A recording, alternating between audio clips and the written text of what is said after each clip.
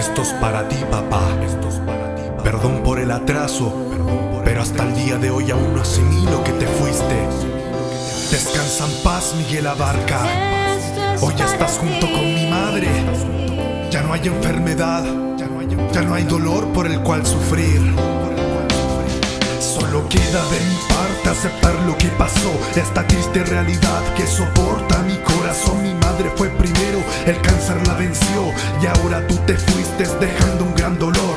Tus ganas de vivir eran solo por tu nieto, tu chiquitito que hoy en día vive su momento. Es un niño muy hermoso, un bebé muy risueño, igualito a su abuela en todos los aspectos. Pase lo que pase, el niño crecerá sabiendo que sus abuelos siempre lo cuidarán, papá, papá.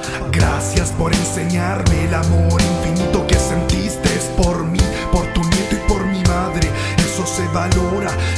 admira y yo te doy las gracias por el amor, el cariño que me diste cada día. Gracias, papá.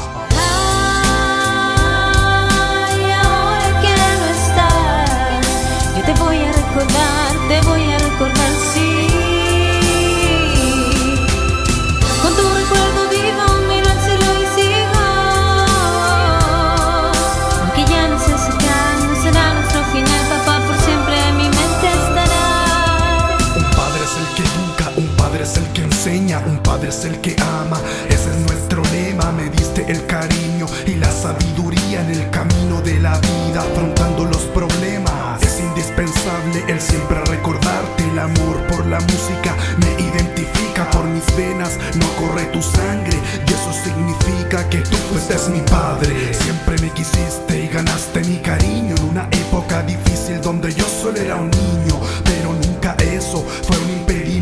El amor que sentiste por mi madre siempre fue tremendo. Debo reconocer que fuiste